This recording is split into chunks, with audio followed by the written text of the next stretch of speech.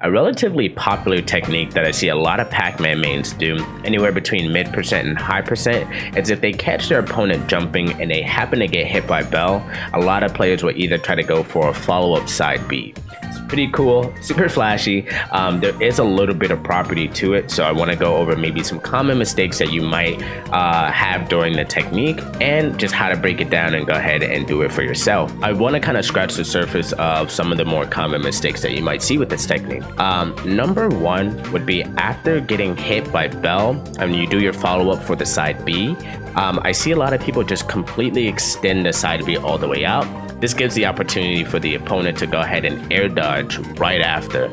Um, this is a common mistake that I ran into a lot.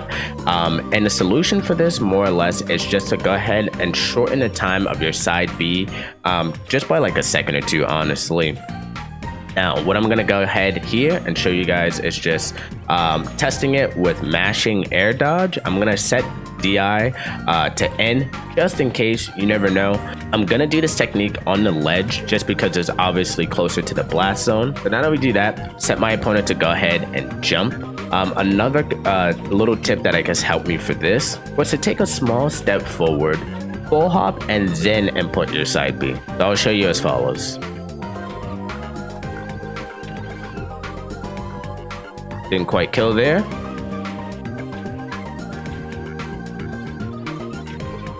There we go.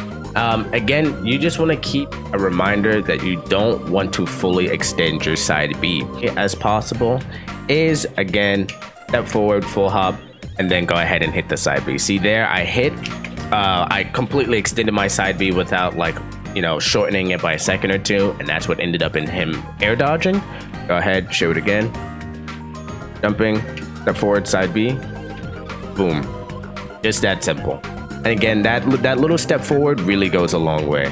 But yeah, like I said, definitely go ahead, take the time to go ahead and figure out which character it works on, which characters it doesn't work on. And again, just making sure that timing is precise on that. You want to go ahead and lab it for a little bit.